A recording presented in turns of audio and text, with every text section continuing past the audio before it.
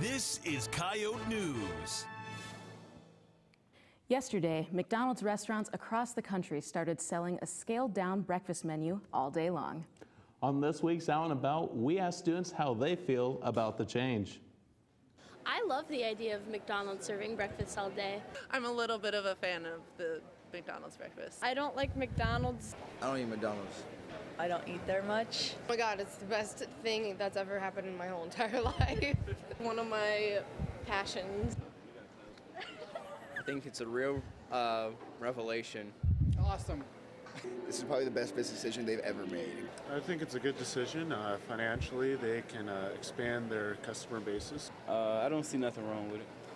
I kind of like their like bacon sausage biscuit things, the egg and stuff.